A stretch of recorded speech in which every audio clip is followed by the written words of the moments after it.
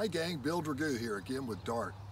We're going to talk a little bit about some of the Touratech components that are on this bike. I'm going to start with uh, the rear pannier racks. I've used several different versions of Touratech rear pannier racks. These things fit properly, they're welded well, they look good. Uh, they've just been a real versatile rack for me. They also offer protection against the any uh, damage to the exhaust. You can mount, of course, the Touratech hard panniers, which is, uh, I think, probably a lot would consider should be mounted on them. But we also have our Mosko Moto uh, panniers mounted here as well. They fit nicely and they just work. In addition to the protection and the, the um, solid security that they provide for carrying things, uh, like panniers, they also give me some space to carry um, a tire iron, which I use more for scraping out mud than I do for uh, changing tires, it seems. And also I carry a Tech Sports shapeshifter bow saw on this side. There's space over here. Touratech makes a real nice uh, toolbox that goes in here as well. So another thing that we have at Touratech are the uh, engine guards. We've got their lower and their upper engine guards. Some things I really like about the evolution of these engine guards is that they are a four-point mounting system, one, two, three, four points, as opposed to the two or three points uh, that you see more commonly on some of the other uh, engine guards. They're strong enough to provide all the protection that you need, but they still have a little bit of flexibility. In fact, I've already bent one here a little bit. That was a really hard strike on a rock. It's still protected by valve cover. Um, it didn't crush and it didn't transfer all the load into my frame, which can be done in a hard strike on a completely rigid um, engine guard system. And then we have the upper guards here, which protect the radiators, the plastics. Uh, I hit these less frequently, but I do hit them from time to time. So uh, I just believe in the system working together. It's really, really good stuff. Also Touratech wise, I've got their headlight protector up here.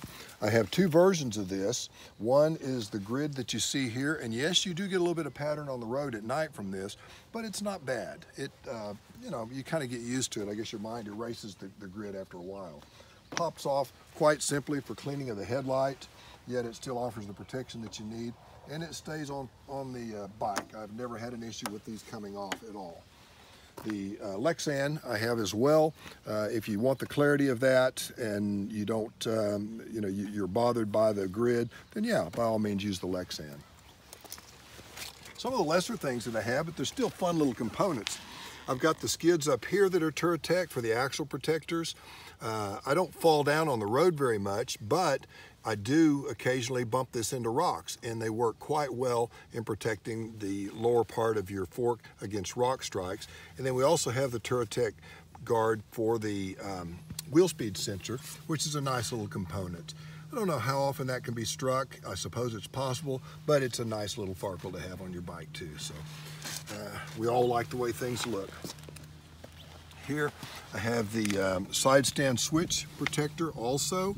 I have broken a side stand switch before and I've never broken one when I had this protector on here so I think it does its job pretty well and again it's just a nice looking uh, um, piece of bike jewelry I suppose. Moving on towards the back I have the Touratech final drive protector. This to me is an essential component. Uh, a lot of strikes occur right in this area and best case scenario it gouges up your final drive and worst case scenario it can really tear it up and, and uh, actually punch a hole in it leaking your fluid out leaving you uh, walking, I suppose, on the side of the on the side of the trail. And then this is a separate component, the axle uh, bearing protector. This goes all the way through and uh, mounts from the inside. Really nice little uh, little detail here. Again, it protects an area that is commonly scraped up whenever you fall down on the motorcycle.